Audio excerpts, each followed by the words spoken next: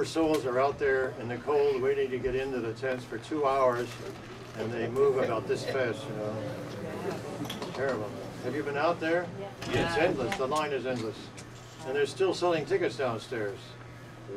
Uh, well, here we are again. uh, how are you, sir? I'm doing well. Mr. Jokes here. And, oh, Mr. Skirchuck's on his back on the floor. Good. Good. Well, I don't know what to say. Have you any questions right off the bat? I'll take care of that. Uh, I brought some things here to, uh, to, uh, I think I will. If I found my glasses, I can do it, otherwise it's all off. Yes, here they are, here they are. These glasses are, uh, uh, they gotta be, what's this, this is the two thousand and four. They're probably a hundred and thirty years old. I found them in an old uh, cousin's, uh, and they, and they work, it's scary. They're for reading, you know? But they're so skinny, and the lenses are totally flat. I don't know how they do that. But they magnify and the lenses are flat. I have no answer to how that's done. They're like curved. The more curved, the worse your heart, worse your uh, hearing or your sight is. Hearing and sight. I'm screwed up already.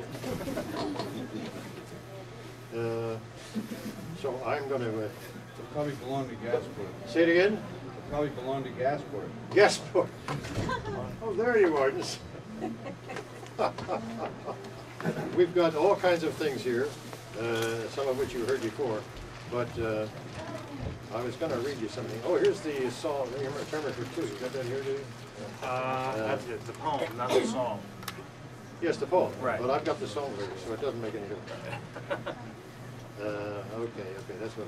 But uh, uh, a, a big fan of mine uh, is. Uh, he made a mistake one time of having an argument for a policeman who stopped him for a traffic ticket or something, and the things got on. He, he had a he had a fist fight with the policeman. Apparently knocked him down. So they took him to court, and uh, the, the, the sentence, I forget what the sentence was, but his brother, he said he was so upset, his mother had died after a long serious illness, and he was so upset that, day that he swung on the guy uh, for what this minor infraction was. And he ended up, his brother thought it'd be good if he was, uh, told the judge to send my brother to the Veterans Hospital because he'd come out of Vietnam. And he thought that uh, if he did that, that he might not uh, have to stay behind bars or whatever they wanted. The, the police wanted to put him in behind bars, and he was sentenced to five years. But his brother thought that he went to the Veterans Hospital, they would uh, realize he wasn't that terrible a violent man, and he was upset when it happened and all that. And he would only be in there a little while. But instead of that, he ended up at a New Jersey State psychiatric kind of a place. And uh, he's having to do five years for swinging at a cup. Uh, which I have no idea. I wasn't there when it happened, whatever. But I mean, there was no gunfire in that. That was just a excuse me, a physical struggle. And uh, but he, he's he he writes these great things. Uh, and he, he runs a uh, what do they call this place? Uh, the uh, what's the name for it? He calls it a loony bin here. Well, that makes sense. So he's in a kind of a psychiatric complex of some kind where they have cottages and all that stuff. And uh, but he writes, and he wrote this wrote this thing about uh, George Harrison. He was a great for the Beatles. He loves music, and uh, he wrote this about George Harrison, and he put it in the uh, hospital uh, newspaper. And he says, I was just voted president of the patient's government. Uh, so here it is here. This is what he said. I heard the news today. Beatle George has passed away. The Fab Four are now two. The world is better cause of you. When you see John on the other side, tell him Imagine hasn't arrived. Something is the song you wrote, My sweet Lord gave us hope. You're at peace now. You rest while broken hearts beat at our chests. Paul and Ringo, so sad today. Brother George has passed away. Help. It's been a hard day's night. Sorry to hear you lost the fight. All guitars gently weep. Golden slumber is eternal sleep. I never got to say hello, goodbye is stuck in my throat. Sit and cry filled with sorrow. I hear yesterday, forget tomorrow. A piece of us has died today. All things must pass, you'd say. Goodbye from us left behind. See you in another time. Though the news is rather sad, the Beatles are the best we ever had. That's the end. Goodbye, my friend. We love you. Yeah, yeah, yeah. Take care. That's pretty nice. Yeah. And uh, he's there. He's going to have to spend the, the whole five years in that institution. Well, having said that, I mean, that, that uh, shakes me up when he sends me things like that. And I realize there's really nothing wrong with him at all. Uh, his brother's desperately trying to get him out. Every time he comes up for parole, or whatever you call it, to leave the hospital, uh, something happens, and he says he gets angry once in a while when uh, the authorities uh, get very strict or something, and he argues with them, and right away they say, you're not fit to get out of here. So, that's life. What should we do here? Is there any, any, um, any more questions? You had none before. Uh, Anyway, I, I, I don't know what they're gonna do with this convention, there's too many people. Have any of you been out there waiting for two hours to get in? To buy a wristband? Then you go outside and there's a line outside you wouldn't believe in the parking lot waiting to get into the tents. And they, they put up an extra tent this year to make it easier, and it's, uh, it's worse than ever. I don't know what would have happened if we had a sunshine day today, it would be more, more people than we have. But it's, I, I don't know what the answer is, they gotta do something, because they can't expect you to come here and stand in line all day long. It started because the fire department said the place was getting too crowded, and a couple of years ago, it really was. You just couldn't budge on the hallways here, and they had to stop that. But the result is, is the hotel is not big enough. I don't know what to do, maybe they should rent Giant Stadium and put a tent over the whole thing, and everybody could come. Amazing. I was, I went to Scott Muni's funeral at St. Patrick's. And is there a microphone here I should be using? or There's no microphones this Can time. you hear? Okay, that's good, I guess. Anyway, I went to Scott Muni's funeral, which was at St. Patrick's. And, uh, boy, they really used the expression, sent him off in great style, you know. Had a bagpiper and a lot of policemen and all that stuff. And everybody in the radio and TV show business was there. Very impressive. And uh, why am I telling you this? Oh, so on the way out, I was walking out at Pat St. John, and I said, boy, this is some send-off. I said, what are they going to do when Cousin Brucey dies?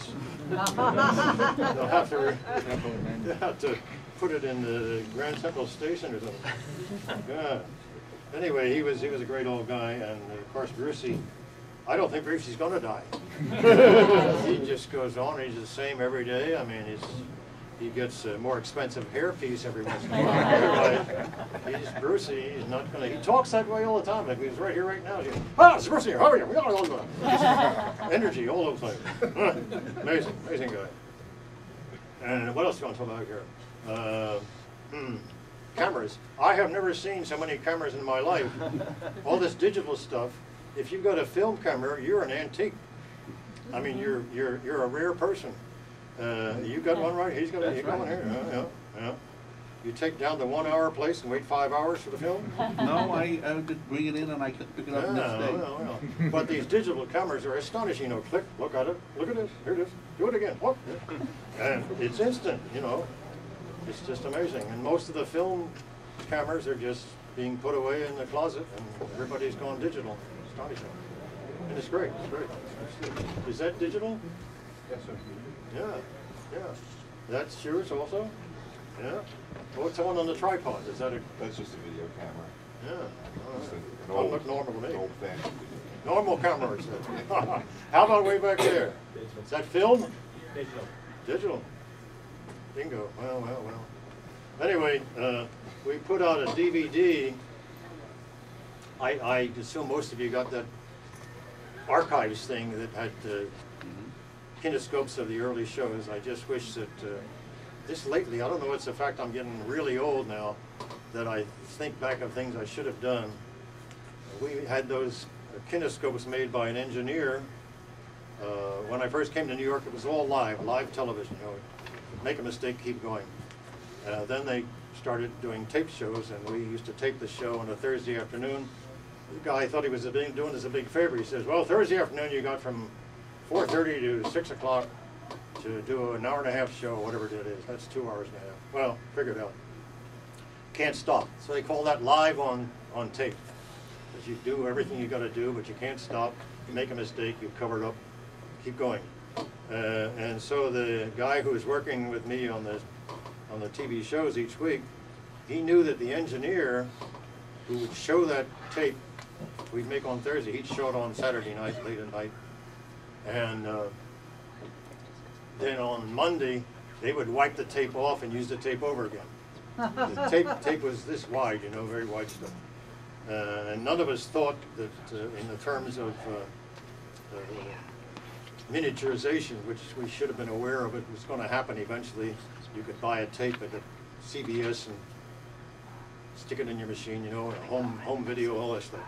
And uh, so now, what was I talking about? DVD. Uh, why was I off on this crazy tangent? Oh, Oh, okay, so, so, uh, we, we made these, put these things on the, on the, all we had was intermissions from four shows, one from Philadelphia and three from New York. And I wish that I had uh, gone into debt to tell this engineer to copy an entire show, not just the intermissions. At least one, you know. Every week we did one, and if we could realize that that was a pretty funny show, that's the one we should have saved. What we got is okay, but there were some shows that everything worked, you know, the big sloppy amoeba and all that stuff. Uh, but we didn't do that. And I went to Channel 9 after that, and they, uh, they were smart. They bought used tapes. The original tapes cost $300 a reel, and every time they used a tape and, and, and erased it and used it over again, they would mark that on the box till it got up to the point where it had been used 50 times. They would sell it as a used tape. And Channel 9 would buy nothing but used tapes, save money. But as a result, when they made a tape, they kept it. They kept the whole year that we did at Channel 9. They showed them again the next year. And I never woke up to the fact that I should have asked somebody, hey, can you make a videotape of, they didn't have the best movies, but occasionally we had a, had a good one, like Mighty Joe Young or something like that. And uh, I wish we had done that, but that didn't happen. And nowadays, with all this digital stuff, uh, nobody who's on the air has any reason to uh, not save everything. But the stations didn't have a historical division where they would keep things uh, from at least one show from everything they did. Shows that were on the air for like one year, they didn't keep a copy of even one. Uh, They, they should have been keeping, uh, uh, you know, like a historical record.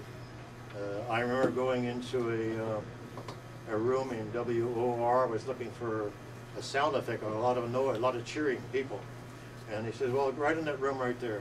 I opened the door, here's great big transcriptions, which are big uh, recordings on, on the discs, uh, vinyl. And they had a room full of cutters, and if a radio broadcast was being uh, broadcast that time, they could record it on this disc, it's slow turning, you know, and it's cutting, cutting grooves. And they call them transcriptions. But it was like a big, great big giant, uh, about this big, I think, bigger than the twelve inch uh, record that we used to have seen. And they threw them all away. Uh, I found the crowd noise, you know, they had speeches by Hitler and Churchill and all those things, and big crowds cheering, well, we used some of that. But uh, that was as far as they went, and I was in the Daily News building, uh, and the same thing happened there. They had great big, beautifully bound, hardcover books about this fat of the Daily News newspapers, every one they were printed. Huge wall full of them, and they started to throw them away. So I found one, I mean, I- heavy, man. So I hoisted one home one day that they had put out in the curb to get rid of. And nowadays, of course, they would microfilm the whole thing, which at least is saving, It doesn't take any space at all. But uh, that's what happened to everything, and that's the reason we didn't save thing in the old days. But had I had some brains, I would have uh, asked that engineer, you know, we just gave him a couple of bucks to do this, to make these little, he did most of the intermissions of the shows at W, Channel 7. And I never pursued it with Channel 9. And Channel 11 had the worst movies of all. but it was fun. I, that's where I met Chuck McCann and all, Officer Joe and Captain Jack. Oh boy. And Fireman Bill, all those people. Beachcomber Bill. Oh, oh boy. I told you the story about Beachcomber Bill. Chuck McCann was very annoyed with him as a person. And uh, Beachcomber Bill had a parrot. You remember that? You told yeah. me. I may have told you this story. Yeah, it's a good story. Oh dear. Well, I'll tell it again. uh, so uh, Chuck McCann, who has a mischievous kind of a streak in him, he was so annoyed at this guy because he left the parrot in the office that they all shared over the weekend. And a bird on the loose can make a mess of a, you know, physical mess and everything else. You know. So uh, he he said he he got a hold of the parrot and he taught the parrot to say, screw you. the more violent word to use. The big F word, the big F word. Over and over again he said, F you, F you, F you. And he claims that uh, when it suddenly happened that uh, Beachcomber Bill had the parrot on his shoulder, he let go with a few While they were on the air, you know. Uh, But uh, Chuck had, had the, the puppets, what was the guy's name? Who was the puppeteer? Fred somebody. And, and I learned a lot from him, he was, he was a great guy. And he's out in California, and he's, he did, he did very well. He used to do a lot of voices for the Hanna- Hanna-Barbera cartoons. And he still does some of that stuff, except I think Hanna-Barbera is out of business now, I'm not sure. But he still gets called, and he makes some films too, he does some nice work. But he's a great guy, and he's still full of fun. And all you gotta do is remind him about uh, working at Channel 11, and he, he shakes his girth. He's got a stomach, you know, he always do. And uh, he's, he's a great old guy. Anyway, uh, I don't know why I bring up all this stuff. Why am I telling you all this? Good. It's history. You already heard it Yeah. many times. I'm here every year. Do we still have any questions here? Oh, something we got, good. yes. Can you sing a song? Sing a song? Oh, I was on the radio yesterday on the, on the Q104, and I went into the studio the day before to, uh, I could tell you this whole story, to, uh, to record some stuff, and then they take my voice and put the music in it and make a show. I knew what each, song was going to be, so I made some reference. And um, they they played it yesterday. So first, Scott Muni has a half uh, had an hour at lunchtime every day when he played Beatle music because he had a Beatle connection there for years from England. now that he's dead, of course. So in his honor on Friday, which was yesterday, they uh, played a few Beatles songs, and then I took over and uh, gave him my memory of him. Uh, I had met him when I was on WNEW FM. And I was very lucky to get that kind of a job. I never dreamed of being on the radio, but that was a great place to be because we were able to pick our own music and all that great music was coming out in the mid-60s through the 70s. And uh, I'm forgetting what I'm trying to talk about here. Uh, what was your question? Can you sing a song? Sing a song. so anyway, this they played some of these old songs from way back that I hadn't heard in years, like Tisket a Tasket and things like that. Uh, on this, and then they played it again last night at 11 o'clock, and hope much more of it. So at one point in, in our uh, recording in the studio, talking to the disc jockey, uh, we started kidding around, and we got in one of those incredible laughing sessions where we just had to stop. And there's a guy in there with a camera for some reason taking this whole thing. I said, what are you going to do with it? He says, boy, where do you see it? It's terrific.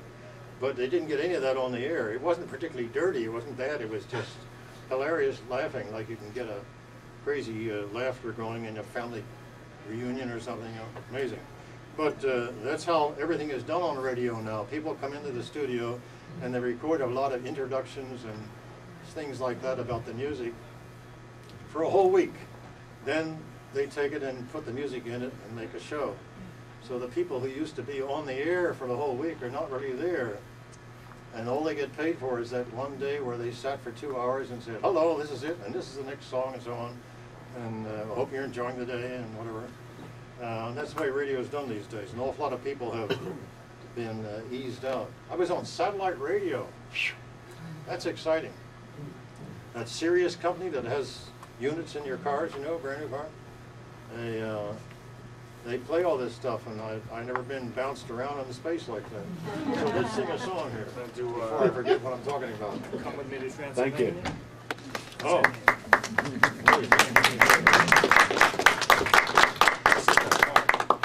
It's a phone? Got the one for internment for two, the dedication, Oh, this is the beginning? just the, the poem. Yeah, in the beginning. Right. Yeah, or the intro. This, uh, he, he's, he's the guy that makes these CDs, which, uh, last one was called, uh, what was it called? Uh, internment for two, No, the first one. dedication. No, the Oh, first- Dead Man's Ball? Dead Man's Ball. Right. The next one's gonna be in called, in called Internment for Two, and this is the introduction. I didn't know there'd be a quiz. Am I right about this? There's no music to it, it's a poem. I know, it's a Okay. poem, there we go. We'll get around to the music. This is the introduction music. And this is the dedication right in the first verse. My dear, as you lie napping, and I stroke your matted hair, I feel compelled to prove to you how much I really care. I may not say I love you very often to your face, but deep inside you know that you're my favorite basket case. We share a certain chemistry and get along so well, it makes me want to stay with you regardless of the smell. They say you love to take it, they say the love you take is equal to the love you make. But nothing says I love you like a hammer and a stake. I'd climb the highest mountain or swim the deepest ocean if I thought that it would prove my true undead devotion. I gladly bring you fresh bouquets of flowers every day, but cemetery workers keep on chasing me away. Now at last I've found a way to prove my love's still strong. I'll throw my heart and soul into the lyrics of a song. And every tune that follows, I now dedicate to you. So join me as we share our internment for two. And we're gonna do what song? Come with me to Transylvania, right here, right? All right, here we go.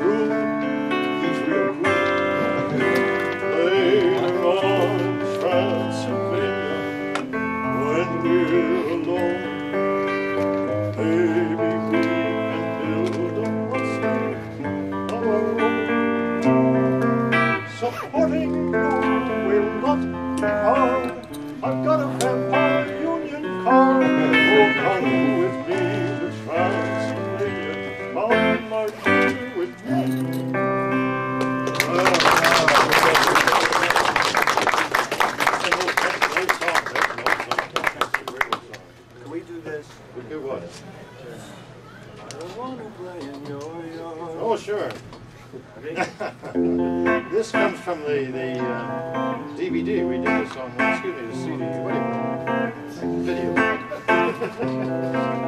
I don't want to play your yard. I don't like you anymore. You'll be sorry when you see me sliding down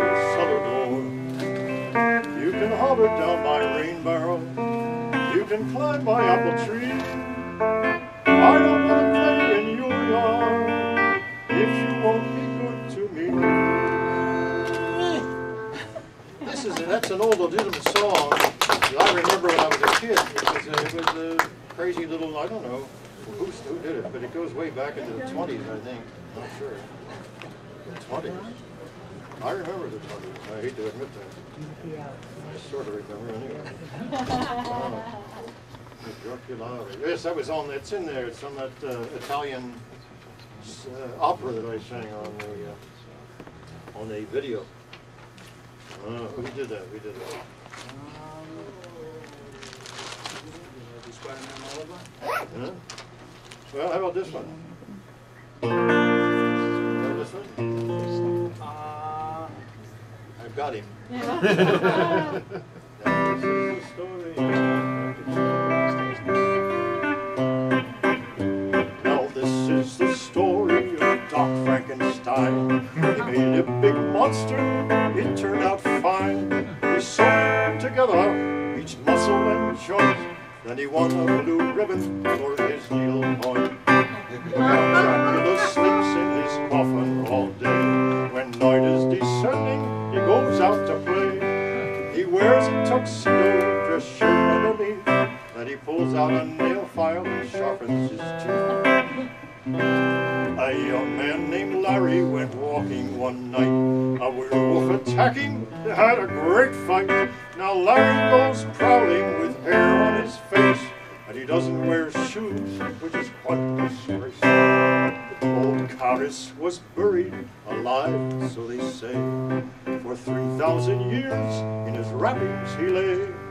He loved his Ananka as cute as can be.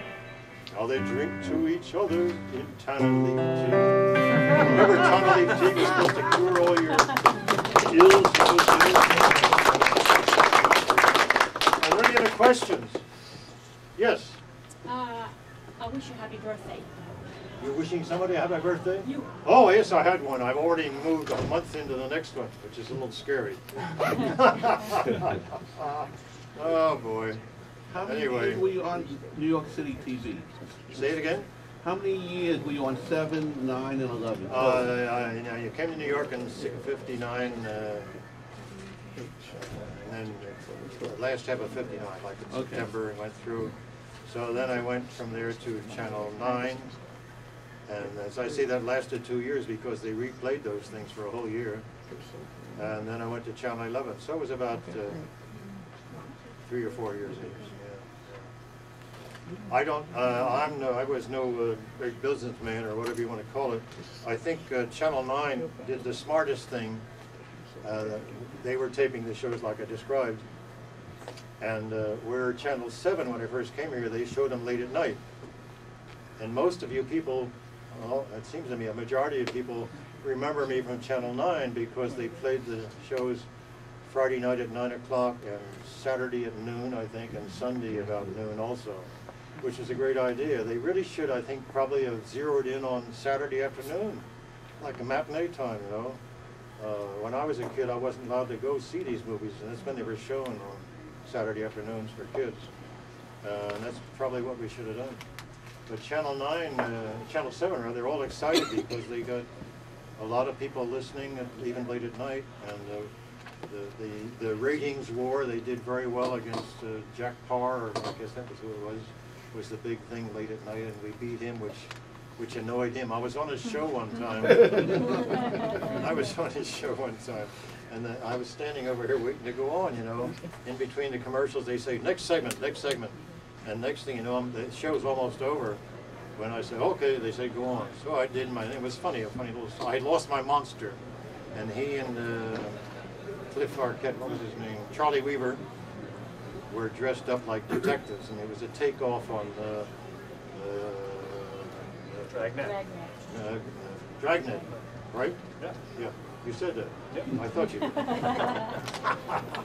and it was came out kind of funny. It was little fat, fast dialogue back and forth, which we were reading. And after it was over, he said he made a little speech after I went off the stage with big applause. He says uh, he came out and he said, uh, "I know what this is." He says, "This is a Zacherley audience." He says, "I can always tell." When a guest comes here with their own audience, and uh, I just want you to know that Zacherley is in kind of a competition for us, you know. But uh, he saved it to the very end, hoping people had left the, gone to bed. but he was, he was a nice guy, really. But he was, that's why I kept, he kept putting it off. He says, I can always tell this is Zacherley's audience, and they all cheered, you know. well, did he die? Yeah. He's dead. See, I'm still here. Well. Gotta- gotta keep track of us, you know, we don't last forever. Well, I had, a I had a great operation, uh, I bet, what, not too long ago, two months ago? Guess it was. Where they, they stick a catheter in here and comes out here in your heart. And you can watch it on TV. Uh, I was ready for that, you know, because I, my next door neighbor had the same thing. And, uh, but they, they fooled me, they put me out cold and it was all over. And they go up inside your heart and they poke around in there and they find out why, where the place is that's causing it to go bump, bump, bump, bump instead of bump, bump, bump. And when they find that place, they turn on the juice and they burn that little part, the inside of your heart. Hmm. They call it a, an ablate, ablation or something like that. And you wake up in the afternoon and you're in a room, you know, and you take a nap. I ended up in a private room because all the other rooms, all the other rooms were full. and I'm sitting there by the window, a great big window, looking at the East River, watching the uh, the Coast Guard patrol boats go up and down looking for terrorists. You know, I was waving at them. really, I'm sitting there, right, looking right out the window. And uh, next morning, I went home. All over. So if anybody has that problem, great. I had it when I was a kid, and I, and I got over it, this jumping heart, and it came back to haunt me in my mid 70s, and now it's gone. But there are other things to worry about. So. well, well, well. Uh, any other questions? Somebody else? Yes. What did you do before uh, TV and who are your major influences in your life? Can you translate that? Who are your major influences in your life? What was it? I didn't get the first What did one. you do before he was on TV? What did you do before you were on TV? Nothing. well, it's true. Practically true. I never uh, came out of the army and uh, I never shot anybody. I was always behind the lines uh, in World War II. And uh, I really didn't know what to do. I thought, I was very impressed. All of us were very impressed by all this stuff that was coming over, new airplanes and boy, the manufacturing that was going, it was astonishing. We supplied all the armies that were fighting Hitler and uh, it was just amazing. And uh, we were all impressed by these big companies, like the Ford Motor Company was making, you know, 16 bombers a day and all that stuff. These big assembly lines. You've seen pictures of them. Uh, and uh, so I thought maybe a good idea to go to work for one of these uh, fantastic corporations. but somehow it never happened. I never really thought about it after I got home. Uh, no, I started fooling around with a, uh, my cousin uh, induced me to, oh, hey, look at this. My cousin introduced me to a local, you, you, anybody need a little? Whoa! It's for the back row, ready? oh, not very well done. Uh, anyway, I started messing around with a little theater group in Philadelphia, and eventually, one of the ladies who uh, who worked there, who, you know, came in. It was all amateur thing, but pretty neat. They had a little barn, an old uh, colonial barn in uh, Philadelphia, and that was their headquarters. And they built a stage and all. And uh, she uh, she told me one day, she said, "Why don't you go out to Channel 10? They're hiring people for uh, a cowboy show." So I did that. I had no intention of doing that in my, my life. It just, uh, I, I went out there and they, uh, it was a live show with horses and, you know, guns. And we all got dressed up as cowboys, and for a week we were chasing somebody, and next week we chased somebody else.